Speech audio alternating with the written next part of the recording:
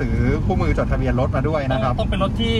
ที่ไม่ติดไฟแนนซ์ใช่ครับต้องเป็นรถที่ไม่ติดไฟแนนซ์นะครับต้องเป็นเจ้าของรถเดินทางไปด้วย หรือว่ามอบอำนาจไปก็ได้ แต่ว่าต้องไม่ติดไฟแนนซ์แต่ถ้าเจ้าของรถถ้าไปเองก็จะง่ายขึ้นก็จะง่ายอ๋อครับผมแล้วก็แล้วก็มีหนังสือ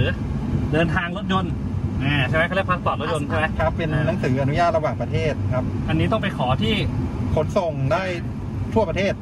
อ๋อขอขนส่งโอเคครับ แล้วก็ที่เหลืออะไรหนังสือเดินทางเหลือใช่ไหมทางอ่าแล้วโอเคแล้วอันนี้คืออะไรที่อันนั้นให้มาอ๋อนั้นวัคซีนพาร์ทแล้วก็มีอันนี้ด้วยอะไรนะหนังสือ อนุญาต แนบกับอันนี้ต้องใช้ไหมอันนี้น่าจะไม่ต้องใช้อ๋อโอเคก็มีแค่นั้นถูกไหมได้ครับ แล้วเราก็สามารถเดินทางเข้าสู่ด่านได้เลยอ๋อที่สำคัญนี่นี่ตัวนี้ต้องติดอ๋อเลยมีสติกเกอร์ที่เป็นตัวทีฮะมีสองตัวติดกระจกหน้ากับติดท้ายรถใช่ไหมครับ ครับผม แล้วอันนี้คือเราขับเข้าไปตรงนี้เลย ก็เดี๋ยวเข้าไปแล้วไปยื่นเอกสารตรงนี้ครับอ๋อก็จะเอ่อหลักๆจะมีสองสองหน่วยงานที่อยู่ตรงนี้ก็อืม หนึ่งก็คือตมอ่าแล้วก็สองก็คือศุลกากร แล้วเราขั้นตอนแรกคือเราต้องลงรถไหมหรือว่ายืนเดี๋ยวเราอยู่บนไปรถจอดแล้วไปหาตมกันครับ อ๋อโอเคสวัสดีครับคุณลุงไปได้เลยไหมเดี๋ยวต้อง ไปได้เลยครับตรงไปเลยครับ ก็เนื่องจากคันเนี้ยรถคันนี้ยังไม่เคยข้ามยังไม่มีประวัติบันทึกที่ในออนไลน์ ในครั้งแรกมันอาจจะต้องไปใช้เวทำลาบาร์หน่อยโค้ดทำอะไรนิดนึงครับอ๋อโอเคงั้นเราไปเริ่มจากจอดตรงไหนตรงเข้าไปเลยครับเอ่อตรงนู่นข้างกระบะสีขาวนะครับ เอาเรามากับรีช่องเรียมเจเราเข้าช่องช่องทูดได้ไหมต้องเข้าช่องไปฝากนิดดานึงวร้อนอ๋อไปดูโอเคใกล้ๆเลยมีไหมข้างไปถึงปุ๊บข้างไม่สีขาวได้ไม่มีที่จอดาข้างสีแดงอะได้อยู่โอเคครับโอ้ตื่นเต้น อันนี้เป็นเป็นจุดที่ข้ามเลยใช่ไหมครับผม โอเคงั้นเดี๋ยวเราลงไปดูกันครับว่าขั้นตอนการ เอารถข้ามราวเป็นยังไงนะครับไปตอนแรกเราต้องไปที่ตู้อะไรนะ ตู้ตู้ตมอ่าครับตู้ตมตู้ตมแล้วก็ขอเอกสารอ่าครับเป็นแบบฟอร์มของตมก็จะเป็นตมสองตมสามตมสี่ ครับก็ตมสองนี่จะเป็นแบบฟอร์มยานพาหนะตมสามเป็นคนโดยสารที่จะไปกับรถคันนี้ อ๋อแล้วก็ตมสี่ก็จะเป็นรายชื่อ คือคนประจำพาหนะก็คือคนขับอ๋อครับผม แล้วก็เราก็ต้องเอาอันนี้นะครับไอ้หนังสือเดินทางรถยนต์เนี่ย ไปทำบาร์โค้ดอ่าทำบาร์โค้ดเพื่อติดเขาก็จะมี ข้อมูลบนเล่มที่เขาจะพิมพ์ลงไปนะฮะ เสร็จแล้วเราก็ประกอบอันนี้ แล้วเราก็ไปยื่นใช่ไหมครับ ก็กลับไปยื่นใหม่ที่ตู้ไปยื่นใหม่ซีที่ดีที่ตู้เดิมครับ ก็ขอพวกเลขตัวถังเลขเครื่องยนต์อะไรพวกเนี้ยครับเลขเครื่องยนต์โอ้เอกสารเยอะเหมือนกันนะ ก็เดี๋ยวถ้าเราทำตรงนี้เสร็จเดี๋ยวถ้าไปขอตรงนู้นเสร็จเป็นขั้นตอนอะไรต่อไปก็เดี๋ยว ตามไปดูครับ เพราะว่าต้องบอกว่าครั้งแรกเหมือนกัน ดีที่แต่น้องดาเขาช่วยนะครับ ไม่งั้นก็ ป่านนี้ยังเดินวนอยู่ครับ ไปครับ เดี๋ยวรอดู แล้วตอนนี้นะครับเราก็ตรวจรถแล้วก็ทำเอกสารเรียบร้อยทุกอย่างแล้วนะครับ ด้านหน้าของเราก็คือนี่ครับ เราจะผ่านพรมแดนประเทศไทยนะครับ แต่ว่าขั้นตอนตรงนี้ยังไม่จบนะครับ เราต้องไปที่ด่านลาวก่อนใช่ไหมอ่าเอ่อเดี๋ยวเดี๋ยวของไทยตรงนี้เราจะชำระค่าสะพานครับสามสิบบาทอ๋ออ๋อแล้วเดี๋ยวเข้าตรงนี้ใช่ไหมใช่ครับเข้าเข้าช่องไปเลยครับค่าข้ามสะพานสามสิบบาทอ๋อ มีค่าข้ามสะพาน 30 บาท ครับ แล้วเดี๋ยวพอข้ามไปปุ๊บค่อยไปทำเอกสารรถเข้าฝั่งลาวชิ้นฝั่งนี้ก็ได้ครับ ฝั่งนี้จ่ายจ่ายฝั่งนี้อ๋อจากตรงนี้ใช่ไหมใช่ขอบคุณครับ เราเห็นเขาบอกว่าถ้าถ้าสูงการมาเที่ยวลาวให้แลกเงินที่ฝั่งนู้นจะไอ้ดีกว่าใช่ไหมสวัสดีครับพี่รับโอ้ยจำก็ได้ว่าผู้ใดนี่เนี่ยเที่ยวเหรอ ครับ ไปเที่ยวครับ ครับ โอเค แล้วเราจ่าย30แล้วไงต่ออะเสร็จแล้วเสร็จแล้วก็ไปครับ อ้าวแล้วข้างหน้าไม่ต้องไม่ต้องลงรถใช่ไหมลงข้ามสะพานครับ ตอนนี้จะเป็นสะพานก็คือสะพานมิตรภาพนี่ครับเรากำลังขึ้นสะพานอันนี้คือจุดเริ่มต้นของครับของการขึ้นสะพานมิตรภาพไทยลาว แล้วก็ไปถึงนู้นแล้วก็ไปลงรถไปทำเอกสารเนี้ยใช่ครับที่ลาว จะไปผ่านตมลาวครับเมื่อกี้เราผ่านตมไทยเรียบร้อยแล้ว อ๋อ แล้วแล้วตมลาวขั้นตอนเหมือนกันไหมก็คล้ายๆกันครับ หลักๆของการตรวจเนี่ยก็ให้ให้ให้ง่ายๆเลยคือตำรวจศุลกากรตำรวจศุลกากรนี่จะเป็นเป็นสเต็ปนี้ ไม่ว่าที่ไหนก็จะเป็นตำรวจแล้วก็ศุลกากรนี่ครับข้างหน้าคือสะพานมิตรภาพไทยลาวตอนนี้เรากำลังจะอะไรนะทะยานออกจากแผ่นดินฝั่งประเทศไทยนะครับโอ้โหตื่นเต้นมาก ครั้งแรกที่ที่ได้ขับรถมาเที่ยว แต่ก่อนแต่ก่อนผมเคยมีประสบการณ์ตอนเด็กก็เคยข้ามไปเที่ยวแต่ว่าเราเราเราจ้างรถสมัยแต่ก่อนนะเราจ้างรถนำเที่ยวก็ไปตั้งแต่สมัยเด็กๆนะไปกับคุณพ่อคุณแม่อะไรเงี้ยเพราะว่าก็ตื่นเต้นนะตอนนั้นอะแต่ว่าตอนนี้ความทรงจำนะตอนนั้นมันเด็กมากไงทุกอย่างเลยลืมไปแต่ว่าครั้งเนี้ยคือเฮ้ยมันมันขับรถมาได้ มันขับรถมาเองอะไรเงี้ยมันก็เลยเป็นประสบการณ์ที่ต้องบอกว่าครั้งแรก แล้วก็คิดว่าน่าจะเป็น ทริปที่พิเศษที่สุดแล้วก็ตื่นเต้นที่สุด เพราะว่าเมื่อกี้แอบถามพี่ตมใช่ไหมเขาบอกว่า น้ำมันหา ตอนนี้น้ำมันที่นู่นหาเติมค่อนข้างยากจริงไหมจริงครับก็จะค่อนข้างยากเขาจำกัดจำนวนเติม ต่อต่อหนึ่งคนต่อหนึ่งคันในปริมาณจำกัดครับจำกัดด้วยเหรอใช่ครับก็คือคือหมายความว่าเราเราเข้าไปถึงปั๊มเนี่ย เราบอกว่าเต็มถังไม่ได้ ไม่ได้ เราจะให้อยู่ต่อคนเท่านี้เท่านี้ เอาเหรอถ้างั้นเราเอาเอาเราก็มีเดี๋ยวห้าเดี๋ยวเราค่อยไปลุ้นกันเออเรามีห้าคนกันตอนนี้ห้ารอบครับก็ลุ้นกันยัง ลุ้นกันว่า เอ่อทางเนี่ยครับขอขออนุญาตอธิบายทางข้างหน้าเนี่ยที่ที่เราเห็นอยู่ตรงกลางนี่เป็นทางรถไฟคือสะพานสะพานเนี้ยใช้ร่วมกันระหว่างรถไฟกับรถยนต์อ้าวเหรอ ครับถ้าในขณะที่รถไฟขึ้นมาเนี่ย ก็เขาก็จะปิดกั้นไม่ให้รถรถยนต์อ๋อ นะแต่จะเห็นได้ตรงกลางเนี่ยถ้าไปตามทางจะเป็นทางรถไฟไปบนสะพานเนี่ยจะวิ่งชิดซ้ายอยู่นะครับ จะยังเป็น วิ่งแบบไทยอยู่ แต่พอลงสะพานไปฝั่งลาวเมื่อไหร่ถึงจะเริ่มเบี่ยงขวาใช่ครับเออว่ะเฮ้ยถึงยิ่งลืมนึกคือว่ามันเหมือนแบบว่าของเราข้ามมามามาแตะที่ฝั่งเขายังเป็นเป็นเป็นแบบรูปแบบของเราอยู่ ตรงเนี้ยตอนเนี้ยยังเป็นซ้ายอยู่ถูกไหมใช่ครับ จนกว่าจะหลุดด่านตมเอ่อตรงเดี๋ยวจะมีไฟแดงตรงนี้นิดนึงครับ ที่จะเป็นทางตัดเพื่อที่จะข้ามให้เรากลับมาวิ่งฝั่งตรงขวาแล้วอันนี้เราต้องไปทางตรงไฟแดงตรงนี้ถูกไหมอ่าใช่ครับหรือว่าติดไฟแดงเลี้ยวเลี้ยวซ้ายไปครับ ขวาดิเลี้ยวซ้ายครับซ้ายนี่ อ่าครับ ขวานี่จะเป็นของรถบรรทุกอ๋อรถบรรทุกเขาจะตรงถนนทางตรงนี้เพิ่งทำใหม่เพิ่งทำเสร็จเลย รถบรรทุกจะแยกเข้าไปเข้าโกดัง โดยเฉพาะ เพิ่งจะเปิดใช้โอ้ถ้ารถบรรทุกไปช่องตะกี้ ใช่ถ้ารถส่วนตัวมาครับรถส่วนตัวมา มาซ้ายอ๋อโหทำไมคนรถทะเบียนลาวมีรถแพงๆเลยนะ ก็ปกติภาษีเขาจะถูกกว่าครับภาษีนำเข้า อัตราภาษีรถเขาอยู่ที่ 75%ในขณะที่บ้านเรารู้สึกจะ 200 เนาะคครัรับบสองร้อยยี่สิบถ้าเป็นรถที่เขานำเข้าจากประเทศประเทศที่ 3 คือยุโรปหรือว่าเอ่ออื่นๆเนี่ยติดไฟแดงก่อนพี่แล้วแล้วมันไปได้ไงอะเอาเขาไปได้เขาฝ่าไฟแดงเราติดก็ได้เรายอเขียวแล้วไปเขียวแล้วไป ก็เห็นเห็นเพื่อนเข้าไปกันอ่าตรงเนี้ยมันจะเป็นถนนควายควายเพื่อให้ให้ให้ให้เรา เราเราจะตัดเพื่อที่วนวนมาอยู่ฝั่งขวาของถนนแล้ว แล้วทำประกันภัยรถยนต์ก่อน ใช่ครับ ก็คือเอ่อ เราจะต้องมีประกันเป็นเหมือนพรบที่เป็นประกันภาคบังคับที่ต้องทำสำหรับรถที่ใช้ถนนคือถ้าเราไม่ทำเนี่ยเดี๋ยวเราจะโดนตำรวจตรวจแล้วก็ตำรวจจับบนถนนลาวโอเคนั้นเราจำเป็นต้องไปทำประกันถ้าปงั้นระกันภัยรถยนต์ก่อนทำตรงไหน เดี๋ยวผมพาไปคิดว่าจะทำกี่วันครับ มีตั้งแต่เจ็ดวันหนึ่งเดือนหนึ่งปีเดี๋ยวเราเราทำเจ็ดวันไว้ก่อนแล้วกัน อ่าได้ทำเจ็ดวันนะคือหนึ่งปีประมาณแปดร้อยอ่าถ้าเกิดว่าเจ็ดวันอาจจะสี่ร้อยประมาณเนี้ย คือมันจะเป็นเลทแบบ ก็ทำไม่ได้ดิแล้วแล้วแล้วแต่ถ้าพี่คิดว่าจะไปทำคืไปอหนึ่งปีเลยก็ได้หนึ่งปีมันจะประมาณแปดร้อยถ้าถ้าถ้าเจ็ดวันรู้สึกเดี๋ยวเดี๋ยวไปถามดูก็ได้ครับว่าเท่าไหร่ตอนนี้นะครับพระเอกของเราก็จะพาเราไปซื้อประกันภัยนะครับ เราต้องซื้อประกันภัยเพื่อจะนำรถข้ามไปใช้ที่นู่นอย่างถูกต้องนะครับดันนำเลยอ้าวปิด ที่ไหน อันนี้ก็ปิด ไหนเปิด ตอนนี้นะครับเราก็ดำเนินการเรื่องเอกสารของฝั่งที่สปลาวเรียบร้อยนะครับ แล้วก็เดินทางข้ามมา ตอนนี้เราก็เปลี่ยนคนขับก่อนนะครับ เนื่องจากว่าน้องดับมีความเคยชินที่ได้มาขับรถเที่ยวแถวๆนี้นะครับ เพราะฉะนั้นก็ให้ดับขับให้ดูก่อนนะครับ เพราะว่าทางที่สปลาวเขาขับชิดชิดขวาใช่ไหมอ่าไม่เหมือนทางบ้านเรา การขับรถเที่ยวที่ประเทศลาว มีอะไรต้องระวังมีอะไรต้องแนะนำบ้างครับดับ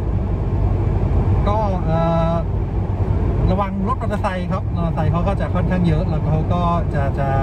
อาจจะพลุกพล่านนิดนึงครับก็สายชิลระวังมอเตอร์ไซค์เป็นพิเศษ สายชิวไหม ได้ครับ แล้วก็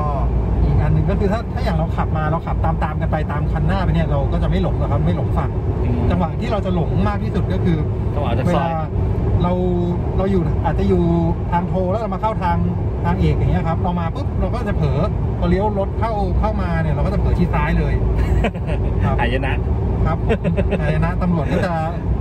เรียกทันทีป้อมตามป้อมที่อยู่ตรงตรงสี่แยกนะครับ แล้วประเทศลาวเขามี speed limit ไหมเอ่อมีครับมี speed limit อ๋อความเร็วเขาจำกัดเท่าไหร่อย่างเงี้ยทางจากถนนที่ที่เราขับอยู่ตรงนี้ถ้าถนนทั่วไปเหรอเอ่อน่าจะ น่าจะหกสิบถึงแปดสิบแล้วผมผมไม่แม่นจำไม่ได้เดี๋ยวดูต้องดูอีกทีหนึ่งขอโทษด้วยอ๋อโอเค แล้วที่ที่ประเทศลาวเนี่ยตำรวจที่เขาควบคุมดูแลเรื่องการจราจรเนี่ยมีเยอะไหมมีครับก็จะมีแบบตั้งด่านเป็นจุดอ๋อๆก็ตาเหมือนมสถานที่เหมือบ้ต่างๆใช่ครับ ก็สิ่งที่ตำรวจจะตรวจก็สำหรับรถต่างประเทศเนี่ยก็ตรวจเอกสารประกันภัย อืม ครับแล้วก็ตรวจพวกเอ่อตัวตัว ระยะอนุญาตรถครับว่าปกติถ้าถ้าเราเข้ามาเนี่ยรถจะอยู่ได้หนึ่งเดือนอ๋อครับก็ก็จะดูว่าว่าว่าเข้ามาเกินหรือยังในพวกนี้ครับอืมถ้าเราทำมาถูกต้องก็ไม่ต้องห่วงอะไรครับเขาก็เป็นมิตรครับผมพี่น้องชาวลาวเป็นมิตรกับพวกเราครับ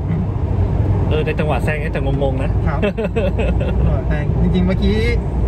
เอ่อถ้าให้ถูกเราต้องแซงซ้ายครับเราแซงขใช่ไหมวาไม่ได้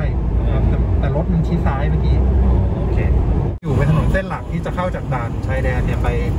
ไปในตัวเมืองเวียงจันทร์แต่ปัจจุบันมีถนนที่เป็นถนนใหม่แล้วเป็นถนนบายพาสเนี่ยจะวิ่งไปอีกทางหนึ่งครับจะจะเป็นถนนที่ที่ให้ทำความเร็วได้สูงกว่านี้ แล้วก็จะไม่ได้ผ่านชุมชนเยอะขนาดนี้เป็นทางที่บังคับให้รถสิบล้อวิ่งทางนั้นเท่านั้น อ๋อครับเขาจะเรียกแสดงว่าแสดงว่าเส้นทางนี้คือเป็นเส้นทางที่ผ่านชุมชนครับผชุมมชนเลยใช่ไหมชุชนอืม อันนี้อันนี้เป็นเราเราอยู่ในพื้นที่ของอะไรอะนะอำเภอจังหวัดแขวงอะไรเขาเรียกอะไรเอ่อตรงนี้เนี่ยอยู่เป็นกำแพงนครครับกำแพงนครเนี่ยคือถ้าชื่อเต็มๆคือกำแพงนครเวียงจันทร์กำแพงนครเวียงจันทร์ก็คือเวียงจันทร์ชั้นในเวลาเราเรียกเวียงจันทร์เนี่ยแล้วเรามาเวียงจันทร์เนี่ยจริงๆเวียงจันทร์น่ะมัน ถ้าถ้าคนที่นี่เขาจะหมายถึงถ้าแขวงเวียงจันทร์เนี่ยเขาหมายถึงส่วนที่มันไกลออกไปจากตรงนี้อ๋อ แต่ตรงเนี้ยคือเขาเรียกกำแพงนครกำแพงนคร อ๋อ ถ้าถ้าสังเกตเดี๋ยวจะจะให้สังเกตจากป้ายทะเบียนรถครับ อ๋อรถที่ขับสวนมาใช่ไหมเขาจะเขียนกาแฟนคร ครับผม ถ้าถ้าถ้าแล้วถ้าไปเขียนในเมืองอื่นก็คือเป็นเป็นรถที่อยู่ในเขตเมืองอื่น อ่าดูอย่างเดี๋ยวดูทันไหมโอ้คันนี้ป้ายก็เลอะเหลือเกินก็ดูไม่ทัน ก็มันจะยาวๆหน่อยครับ อย่างเงี้ยกำแพงนครอ่าฮะอ่าฮะครับกาแฟนคร เราเราอาจจะสงสัยว่าเอ๊ะทำไมเราบอกว่ามาเวียงจันทร์แต่ทะเบียนรถทำไมเป็นกำแพงนคร ก็คือเป็นเวียงจันทร์ชั้นในที่ที่แบ่งแบ่งเขตการปกครองตรงนี้เขาจะเรียกกำแพงนครแต่ถ้าเวียงจันทร์จริง ๆ ก็จะเป็นพื้นที่ที่เอ่อเหมือนกับอาจจะจะห่างชุมชนออกไปมากกว่านี้หน่อยครับ แล้วราคารถที่นี่ที่เป็นรถรถญี่ปุ่นแพงหรือถูกกว่าไทย ถ้าเป็นรถที่ประกอบประเทศที่สาม อ่าประเทศที่สามของผมคือประกอบอะไรก็ได้ที่ไม่ใช่ไทย จะถูกกว่าไทย เพราะว่าภาษีรถยนต์นำเข้าเนี่ยเจ็ดสิบห้าเปอร์เซ็นต์แต่ถ้าเป็นรถที่ประกอบในไทยสำหรับเราก็ถือว่าเป็นรถต่างประเทศ อ่า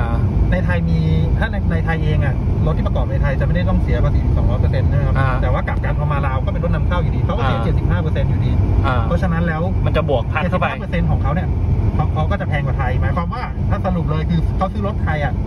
แพงกว่าไทย แต่ถ้าเขาซื้อรถเบนซ์ซื้อรถ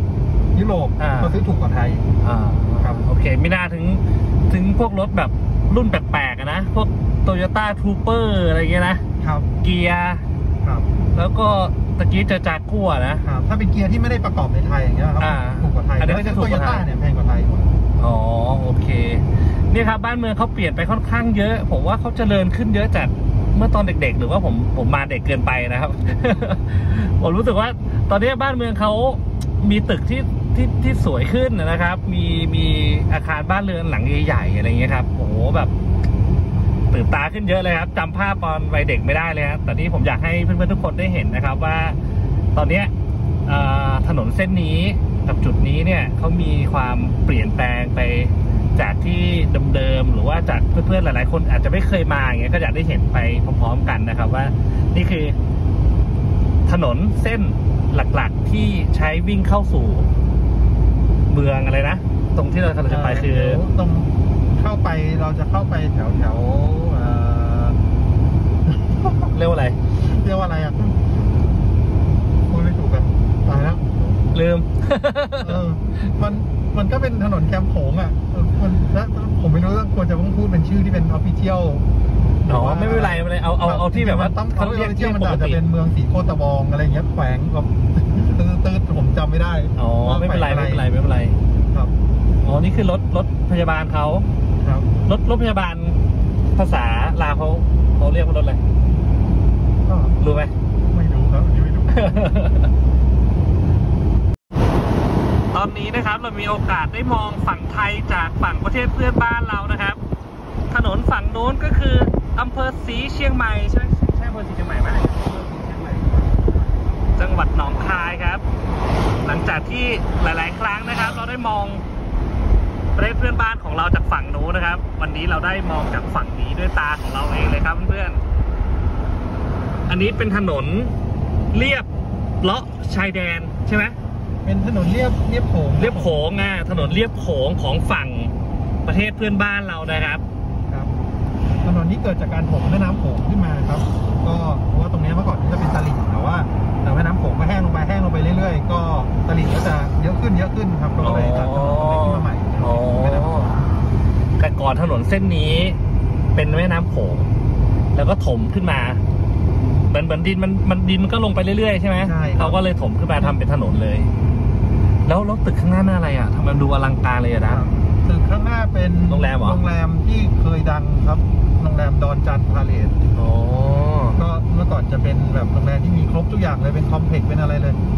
ครับอืมอ๋อที่มองเห็นจากประเทศไทยแล้วสวยๆเด่นๆเลยนะใช่ครับอืมแล้วตรงนี้อะไรอะ เอ่อตรงนี้เป็นบ้านรับรองครับเป็นเรือนรับรองที่แบบเวลามีประชุมผู้นำนานาชาติอะไรอย่างเงี้ยก็จะมาพักที่นี่ดูโคตรไฮเลยนะ ครับ เนี่ยครับ ถนนเรียบแม่น้ำโขงฝั่งสปปลาวครับ และถนนเส้นนี้นะครับก็คือถนนล้านช้างที่มุ่งหน้าเข้าสู่ประตูชัยของสปปลาวนะครับ เราจะเห็นว่าจะมีประตูชัยสูงเด่นอยู่ข้างหน้าเลยโหเมื่อแตะก่อนตอนตอนพี่มาเด็ก ๆ นะครับ ถนนเส้นนี้เป็นถนนเล็กๆนะเป็นถนนเล็ก ๆ แล้วก็วิ่งไปหาประตูชัยเล็กๆเนี่ยแต่ปัจจุบันนี่คือแบบ ผมไม่ธรรมดา อันนี้อันนี้ธนาคารไทยพาณิชย์ใช่ไหมแอนทนิสครับผมอ๋อโห มีอันนั้นอันนั้นอันนั้นแบงค์อะไรอะเอ่อก็ตรงนี้ถนนเส้นนี้ก็จะแบบมีแต่แบงค์เต็มไปหมดเลยเป็นใช่ไหมถนอันอันนี้ก็ใช่ครับเรียกว่าแบงค์เนี่ยต้องมาจับจองอยู่บนเส้นเนี้ยธนาคารไทยพาณิชย์จะอยู่บนตึกเก่าตึกตรงเนี้ยครับเป็นอ๋อตึกแบบอ๋อตึกสวยๆตรงเนี้ยนะและตึกอนุรักษ์แล้วก็จะมีกสิกรที่อยู่ตรงนี้ คือกสิกรก็เพิ่งเพิ่งจะย้ายเข้ามาได้ตึกตรงนี้ อ๋อครับนี่เขาเรียกว่าถนนธนาคารก็ได้เนี่ยใช่ไหมครับผมเพราะว่าอารมณ์ฟิลมันจะประมาณถนนราชดำเนินอย่างเงี้ยนะครับ ถ้าดูถ้าดูแบบบรรยากาศถนนเนี่ยอ๋อกว้างๆต้นไม้เยอะๆอย่างเงี้ยแจ๋วเลยอะเดี๋ยวนี้เขาเปลี่ยนไปเยอะมาก นี่นี่ถ้าใครเป็นสปอนเซอร์นี่เราจะจะจะพูดให้ให้ออกเสียงให้เลยนะครับ แต่ว่าด้านซ้ายจะมีกสิกรเขาจะไม่เป็นสปอนเซอร์เรานะมีแมวตัวใหญ่โอ้โห เปลี่ยนไปมากๆปั่นเหงื่อนะปัดเหงื่อดับเดี๋ยวถ่ายกับพี่แล้วกันเดี๋ยวผมไปฮะป้ายแป๊บนึงนี่เรามาถึงพระธาตุหลวงครับ ตอนนี้น้องดาร์ฟกำลังไปหาความรู้ให้นะครับว่าที่นี่มีประวัติความเป็นมายังไงนะครับ ปกติผมว่าผมจะเดินไปหาความรู้เพื่อจะบอกเพื่อนๆนะครับน้องเขาบอกว่าเดี๋ยวไม่เป็นไรพี่เดี๋ยวผมดูให้ น่ารักมากครับน้องดาร์ฟผมว่านะครับ แค่การนั่งตรงนี้แล้วก็มองอะไรที่เราไม่เคยเห็นเนี่ย ผมว่าทุกอย่างดูแปลกตาแล้วก็สวยงามมากเลยครับ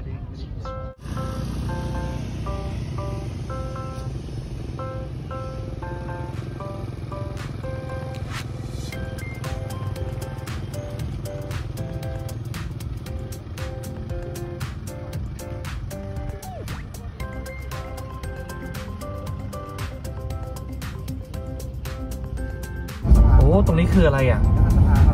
ตรงนี้คล้ายๆเป็นกลาโหมครับอ๋อถ้าด้านซ้ายนี่อ๋อถ้าด้านซ้ายรัฐสภาครับเนี่ยด้านขวาเป็นกลาอ๋โหอมตรงนู้นคือรัฐสภาใช่ตรงนี้คือเหมือนตึกกลาโหมใช่ไหมเอ่อเขาจะเรียกปกสอ๋อ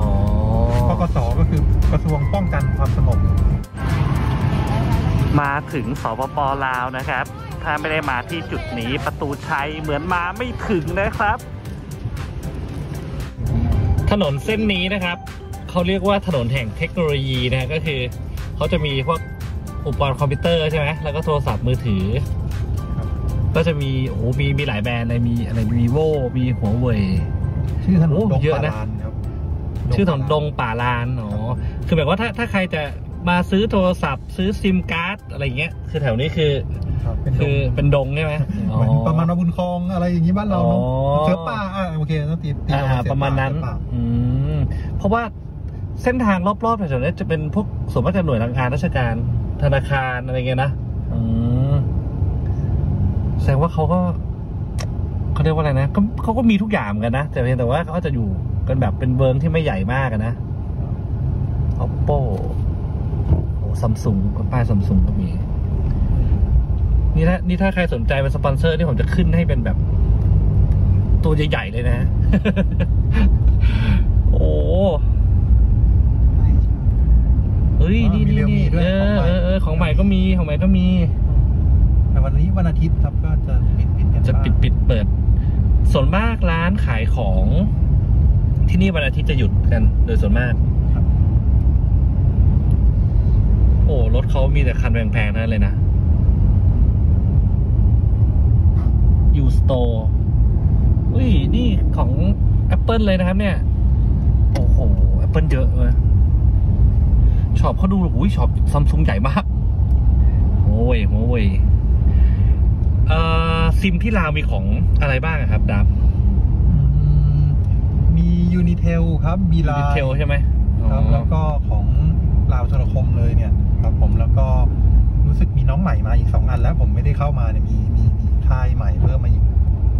อ๋อ จำแต่ว่า ไม่ได้ แต่ว่าแต่ก่อนหลักๆมีอยู่สามอันเหรอสามหรือสองอัน มีประมาณสามสี่อันครับอ๋อลาวเทลอะครับ แล้วก็ Unitel Beeline อ๋อ M Phoneครับ ต้องแสดงว่ามีเยอะเหมือนกันนะโหถนนเส้นนี้ดูแบบ ดูคนแบบขับรถแพงๆมาจอดกันเยอะเหมือนกันนะเนี่ยสมมติเจ้าของกิจการอะเนอะเขาก็จะค่อนข้างที่จะ ดูแบบรถแต่ละคันดูหรูหราเลยอะเบนซ์เด็กซัสหุยมินิบิ๊กซีมินิบิ๊กซีแล้วอันนี้ อันนี้ห้างอะไรอะ อันนี้ก็ห้างขายครับเป็นดงปะลานอ๋อ shopping mall และตอนนี้นะครับเราก็ได้ซิมของสปปลาวมาเรียบร้อยนะครับ พร้อมกับบัตรเติมเงิน หน้าตาเป็นแบบนี้ครับค่าย Unitel ครับอันนี้ อ๋อ นี่ของ Unitel นะครับ แล้วก็ซิมของสปปลาวนั่นเอง ดูหน้าตามันเป็นยังไงนะอีกฝั่งหนึ่งก็เหมือนกับซิมบ้านเรานะ เหมือนเป๊ะเลย สำหรับ EP นี้นะครับ เราก็หาที่พักได้เรียบร้อยแล้วนะครับ แล้วก็ที่พักวันนี้สำหรับการเดินทางข้ามมาเที่ยวด้วยรถยนต์นะครับ ครั้งแรกที่สปปลาวนะครับ นี่ครับให้เห็นห้องพักนะครับฟืบอ่า